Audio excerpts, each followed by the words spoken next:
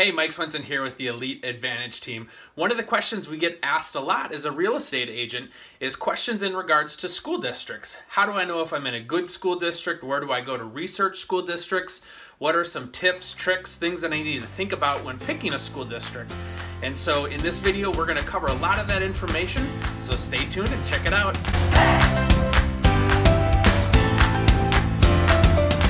Let's go ahead and dig into a conversation on school districts. So one of the questions we often get asked is, what is a good school district? Uh, would you send your kids to this school district? And as a real estate agent, uh, we're actually not allowed to answer that question for you. Um, fair housing laws prevent us from giving subjective information about schools.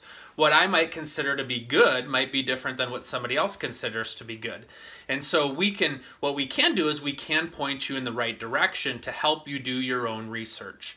So one of the ways that we can do that is we've got a couple of great websites that we like to point people to. One is greatschools.org and another one that we really like is schooldigger.com.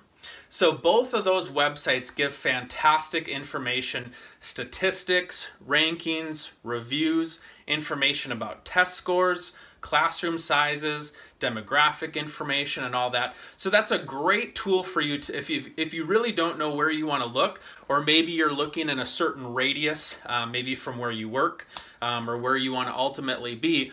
Um, that's a great way to help narrow it down, so you can start to see. Um, where are some good options for me? Um, you know, if it's within X amount of, of minutes to drive to your to your office each day, um, you can start to narrow down that information. So that's really good if you're looking at high level, or if you're moving to a, a new community uh, like the Twin Cities, Minneapolis, St. Paul, and you really have no idea where to start.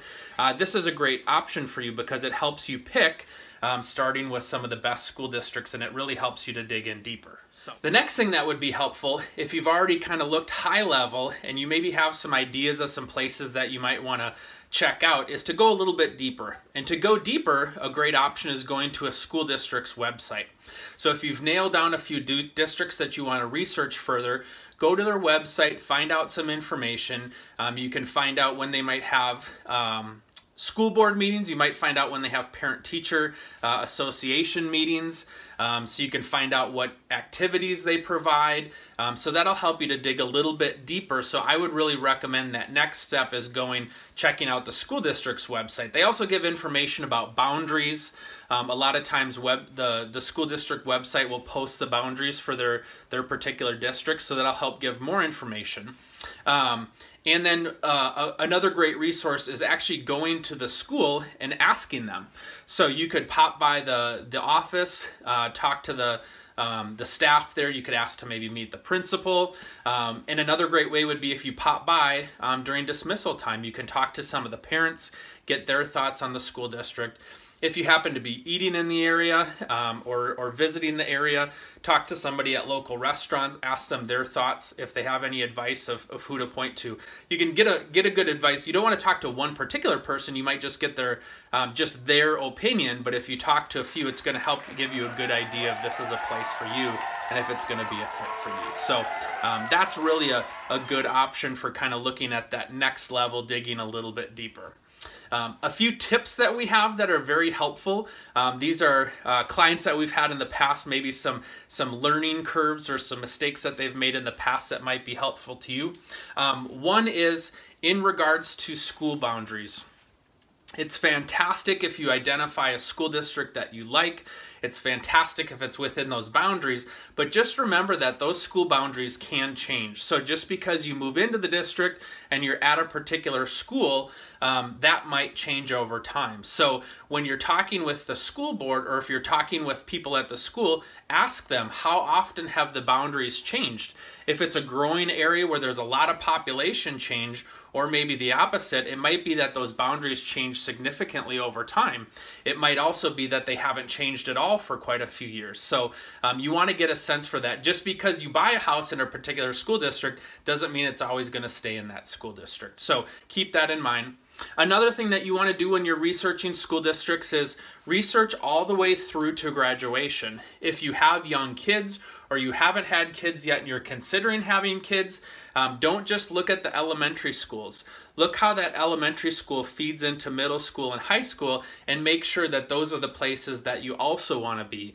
Um, you know, sometimes a mistake that people might make is they think there's a or there's a fantastic elementary school that they really love and it has great ratings and then they find out that maybe it's in a large school district and the middle school that it feeds into is actually the poorest performing middle school in the entire school district. So, um, you know, for some people they might be okay with that. For some people they might not, depending on when they're going to move. So you want to look all the way through. And better to be safe than sorry. Um, you might be thinking, I'm not going to stay in this spot for a certain amount of time. You never know what the future is going to hold. So you'd hate to pick a great elementary school, maybe there's a, a lower performing middle school, and you think, oh, that's okay, we'll move by that time. Well, jobs change, um, things change, the economy changes, and you don't necessarily know. So um, make sure that you're comfortable with the elementary school, middle school, and high school um, because you never know what that future holds. Another tip for people is um, understanding that strong school districts typically have higher values. So when you're thinking about supply and demand, if you're in a strong school district that people want to move into, uh, don't be surprised if the school if the prices of homes are much higher than some of the school districts you might be considering that aren't as strong. Um, people are willing to pay for um, a home. If you look at the same, let's just say 2,000 square foot home in two different school districts, in a strong school district, don't be surprised if that home is significantly higher priced um, because people want to be there. It's this, it's supply and demand. Uh, when people want to be there, there's a much higher demand. There's less supply, so don't expect or don't be surprised if you see that higher price home. Uh, the other thing to think about too is in, is resale. Uh, maybe your kids are uh, getting out of school and maybe you're going to move somewhere else. When you live in a strong school district, your home typically has a stronger resale value. So as the economy ebbs and flows, as things change and the market market becomes more volatile, uh, typically homes in, in strong school districts don't see that volatility in the same way that um, other communities might see that. Well, that wraps up the conversation today about school districts. If you have further questions, feel free to reach out to a member of our team. We'd be more than happy to answer the questions that we can for you uh, to you in the right direction so that you can make a strong decision about choosing a, a school district that's a good fit for you and have the right information to be able to make a good informed decision. So, uh, thanks so much for sticking with us today and we'll talk to you soon.